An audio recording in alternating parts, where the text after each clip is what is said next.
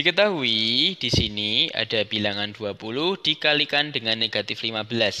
Ditanyakan hasil perkalian bilangan tersebut. Kita jawab. Nah, di sini ada sifat salah satu sifat dari perkalian bilangan negatif.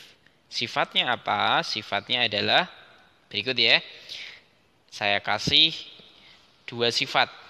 Negatif eh positif dulu. Positif dikalikan dengan negatif maka hasilnya adalah bilangan negatif. Bilangan negatif kita kalikan bilangan positif maka hasilnya adalah bilangan negatif juga.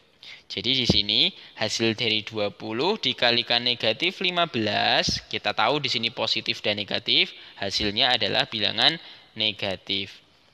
Oke, jadi tinggal kita cari perkalian 20 dengan 15 menggunakan cara bersusun.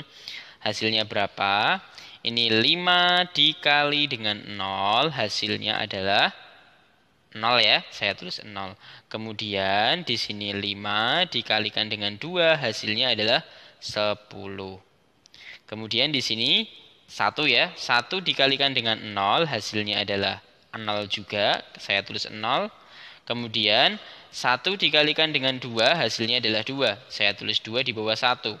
Kita jumlahkan hasilnya berapa? Hasilnya adalah 0-nya turun. Kemudian di sini 0 tambah 0 tentunya adalah 0. Kemudian 2 ditambah dengan 1 hasilnya adalah 3.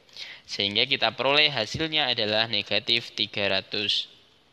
Bisa kita simpulkan di sini bahwa hasil perkalian ya dari bilangan 20 dikalikan negatif 15 adalah negatif 300. Gitu ya. Oke. Okay.